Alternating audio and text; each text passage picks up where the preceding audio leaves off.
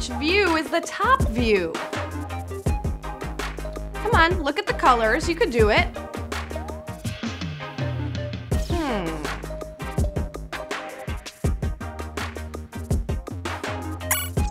Did you guess C? I hope you did. Well, I hope that was enough to get you warmed up for this game right now, because it's Smarter Day. Take it away!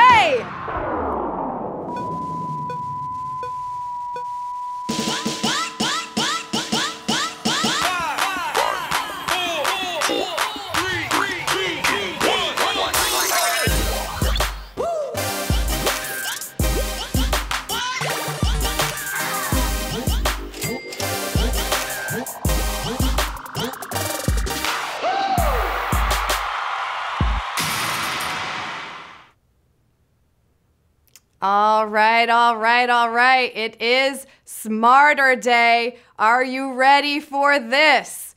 To the over 337,000 players proving their wits and looking for a little payday. Let's see how smart you really are. Q1 starts right now. Which of these is an autumn month in the southern hemisphere? July, February, or April? Oh, yeah, the southern hemisphere. That word comes from an ancient Greek word meaning half of a sphere. It's how we divide the globe up. You're probably in the northern one right now just based on population figures. But if you're not, then you're celebrating autumn right now in April. April is the answer here. 114,775 of you getting that one right. Wow, knocking out over a 100,000 of you here. Thought it was February. Oh my goodness, I told you these are gonna be the tougher questions. Let's see what you got. Q2. When the cable channel AMC launched, what did the M stand for? Movie, music, or magazine? Yeah, you know AMC, right? Well, even though AMC is quickly becoming known for its original series like Mad Men, The Walking Dead, and my all time favorite, Breaking Bad, it used to be all about classic movies because it was called American Movie Classics. Movie is the answer here at Q2. 219,847 of you getting that one right. I see a lot of people utilizing those free passes, those extra lives. Oh, yeah. American movie classic. What was your favorite classic movie? I'm a Hitchcock girl all the way. Q3. What toys famously wobble but do not fall down? Teetaroos, Eggman, or Weebles? And although I never owned these, I'm a child of the 90s, so Furbies were it for me. But these might not fall down, but they've kept a low profile over the last few years. You can still find these wobbly Weebles today, though. Weebles is the answer here at Q3. 235,720 of you knowing this one. Yeah, they're like little people, roughly the size of that silly putty egg. Remember silly putty? That was all fun and games until you got it stuck in the carpet and your mom screamed at you. Q4, here we go. Which city is in the same time zone as Chicago? Detroit, Dallas, or Denver? Time zones, hemispheres, we're really going for it today. Did you make it safely through this one? Detroit to Chicago is not exactly an all day drive, but the time zone line does go between them, putting Chicago in the central time zone, just like Dallas. Dallas is the answer here at Q4. 135,551 of you knew that one. Over 104,000 of you thought it was Detroit. I know. All right, we are on to Q5. Here it is. In logic, the bandwagon fallacy is also known as what? False dichotomy, begging the question, or appeal to popularity. You might know this one if you've ever been called a bandwagon fan, like if you're a Patriots fan right after they win the Super Bowl, right? Well, I hope you don't have any heated arguments coming up, but if you do, it's good to know your logical fallacies. Whenever someone joins something popular, you can say they're jumping on the bandwagon, hence the name. It's an appeal to popularity. 211,589 of you knew this one. You know what that means? You're jumping on the bandwagon to Q6. See what I did there? Mathematically, what are the shapes in classic Tetris games called? Nonaminos, polyabolos, or tetrominoes? All right, quick, picture it. All of those shapes falling endlessly, faster and faster. You need to fit them into the right spot. But what are they called? Well, if you join squares together, you get polyominoes. If you join four squares together, you get tetrominoes from the prefix tetra, meaning four. Tetrominoes is the answer here at Q6. 153,110 of you probably played a lot of Tetris, right? Or Dr. Mario? Ooh, which is the better game? Let me know in the chat. All right, Turritopsis dohrnii which replenishes its own cells, is better known as what? Immortal mushroom, immortal jellyfish, or immortal flatworm? Turritopsis dohrnii. Thought it was a dinosaur at first myself.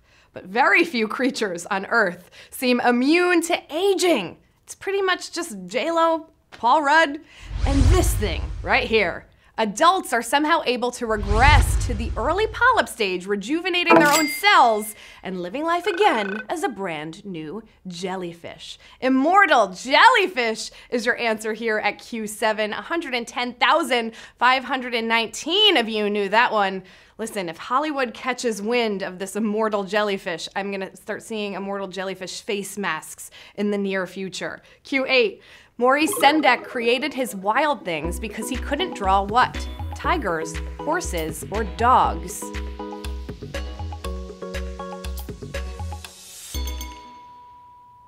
Well, when this fact came out, his editor asked him, Well, what can you draw? And he said, Things. And then it was off to the races from there, quite literally. Though they did have to change the title from Where the Wild horses are. Horses is your answer here at Q8. 54,497 of you getting that one right, knocking out over 60,000 of you here at Q8. Yes, well, did you know that that book was banned in the South because psychologists thought it was a little too dark for the children. Speaking of dark, the questions are only getting tougher from here on out. Q9, here we go. What band's album cover often depict a huge guitar-shaped flying vehicle? ELO, Boston, or Parliament? Come on, think back to those album covers. I know you used to have CDs. Well, Parliament had the occasional mothership, but nothing quite guitar shaped. And ELO had kind of an intergalactic Simon game on a jukebox. Several threatening Boston covers show truly massive space guitars looming over the earth. Jung, jung, jung, jung. Boston is the answer here at Q9. 41,000 of you, over 41,000 of you, got that one. And you know what? It's more than a feeling for you because that means you're going on to Q10. Ayo, who did not win in the only Best Actress tie in Oscar history? Katharine Hepburn, Barbra Streisand, or Vanessa Redgrave? These are some legendary ladies, right? Three Oscar winning actresses right here, but two of them were honored simultaneously in 1969. Another legend, Ingrid Bergman, cracked the envelope and announced the winners. The winners are Katharine Hepburn in Lion in the Winter and Barbra Streisand. The only Best Actress tie in history and I'm sorry, Vanessa Redgrave, it was not your year. 23,982 of you knew that one. And although she did not win that year, she won for Julia in 1978, a few years later. Q11, the principal owner of the Boston Red Sox also owns what British soccer team? Liverpool FC, Manchester FC, or West Ham United? All right, I'm gonna give you a little tip for my non-sports fans. FC clearly means football club.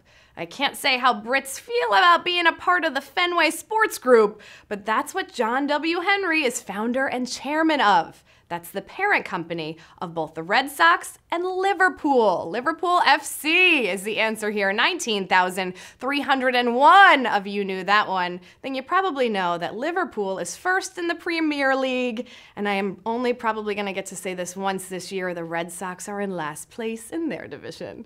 Q12. What Monty Python style name did the press give a 1979 incident involving President Carter? Killer Rabbit, Silly Walk, or Dead Parrot?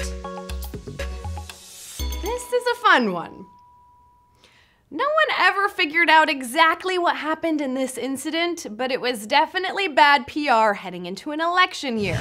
On a fishing trip in Georgia, something swam towards Carter's boat that he swung his oar at it, and he insisted it was a rabbit. And the press called it the killer rabbit. 16,530 of you know all about those crazy swimming killer rabbits. You can only fight them off with oars.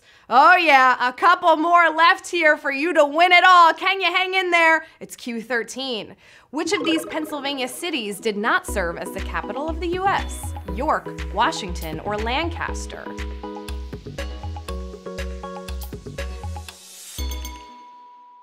Well, there was a lot going on in the 1700s, history wise, as the US was, you know, sorting itself out into what it would eventually become. Both York and Lancaster served as US capitals for a brief time, Lancaster only for a day, but Washington, Pennsylvania never did. Washington, 3,651 of you getting this one right. Oh my goodness, knocking out over 12,000 here. This is it. It's question here at Q13. Washington became Washington, D.C., not Washington, Pennsylvania. All right, I told you only the smart are gonna survive in this one. We have two left. Can you prove it? Q14. Which of these is on the flag of the only inhabited U.S. territory in the Southern Hemisphere? Tree, eagle, or star? I know, we're back to the Southern Hemisphere on this one. What? We're autumn people here. All right, first, you have to figure out the territory. You don't know it? I'll tell you. It's American Samoa. Now you gotta figure out what's on the flag. Well, I guess I could tell you that too. It's an eagle! An eagle is on that flag. Come on, it's a US territory. We love our eagles. Eagle is the answer here at Q14. 4,230 of you knew that one. Uh huh. And you know what time it is now. For over 4,000 of you, you made it this far. We are down to the final round. Oh, yes. It all comes down to this.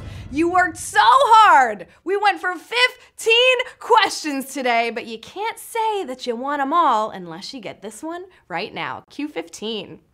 What is the capital of the country from which the US imports the most oil? Ottawa, Riyadh, or Caracas? It's now or never, baby! The US consumes a lot of oil, we know. And while we produce a lot, we import a lot of it too. The top supplier of oil to the US, and it's not even remotely close, is Oh Canada, whose capital is Ottawa. Ottawa is the winning answer here at Q15. 2,937 of you are our new winners!